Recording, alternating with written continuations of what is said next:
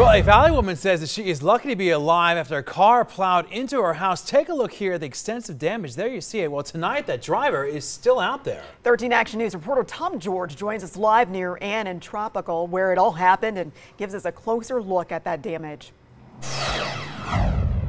Yeah, you can still see a lot of the mess behind it. Actually started on that side street right there. The side street comes to an end. You have to make a turn, but instead a car kept going. You can uh, if you walk here, you can see the tire marks.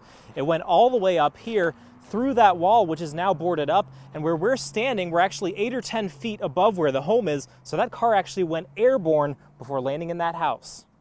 Oh my God, we're just lucky. I'm lucky. Lucky is an understatement. This post on her back patio was the only thing that stopped that car before it would have slammed into the living room where Ruth and her boyfriend were sitting. His head is here, and my head was here. They were up late around 2 a.m. watching TV.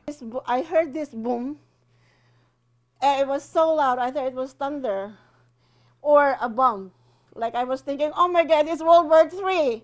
And the damage sure looks like it. A car made it through the barrier wall behind her house and plowing into her back patio and knocked huge slabs of concrete inches away from their heads. This is the, the concrete. It came through here. They snapped these pictures of the car, but the people who were inside it quickly took off. And, and then he was saying, let's, we have to get out of here, something like that. Ruth said she was worried they were going to break in next. They could have taken stuff too from the house. Now worrying about tens of thousands in damage, and her furry friends still skittish. It's just traumatized, she's still hiding.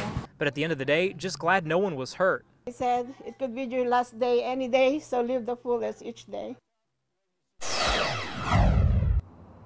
Now, the big question, of course, is who was behind the wheel? North Las Vegas police tell me that car actually was not stolen, uh, but they are looking in to find out who may have been driving that car. Reporting live, Tom George, 13 Action News. All right.